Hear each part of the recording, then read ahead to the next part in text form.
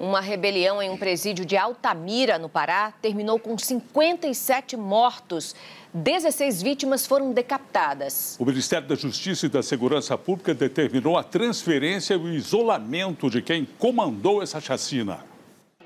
As imagens mostram o pavilhão pegando fogo. O Centro de Recuperação Regional fica em Altamira, no sudoeste do Pará, a mais de 800 quilômetros de Belém. Do lado de fora do presídio, familiares dos detentos aguardavam por notícias. Todo mundo aqui com cabeça quente para saber notícia da nossa família que está aí dentro, nossos esposos. O conflito começou por volta das 7 horas da manhã, após as celas serem destrancadas para o café.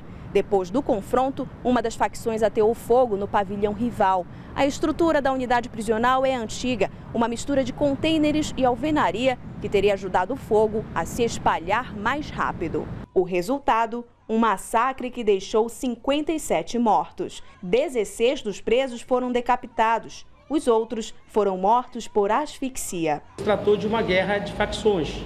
Na Altamira há uma facção é, local chamada Comando Classe A, o CCA, e que divide o presídio com aqueles integrantes do Comando Vermelho. Dois agentes prisionais foram feitos reféns e liberados no fim da manhã. Não foram encontradas armas de fogo entre os presos. Um representante da Ordem dos Advogados esteve no local. O que nós podemos apurar foi um, um, um local que está praticamente macabro. Teve decapitações, teve pessoas que foram mortas através de asfixia pela fumaça. Nós vamos apurar através das investigações, junto com a polícia civil, a militar, o Estado também estará acompanhando de perto no final da tarde, a cúpula da Segurança Pública do Pará chegou a Altamira para acompanhar o caso. No Twitter, Sérgio Moro disse que o Ministério da Justiça e Segurança Pública está auxiliando o governo do Pará e que irão disponibilizar vagas em presídios federais para isolar os responsáveis. As causas do confronto ainda estão sendo investigadas. A unidade prisional de Altamira tem capacidade para 208 detentos,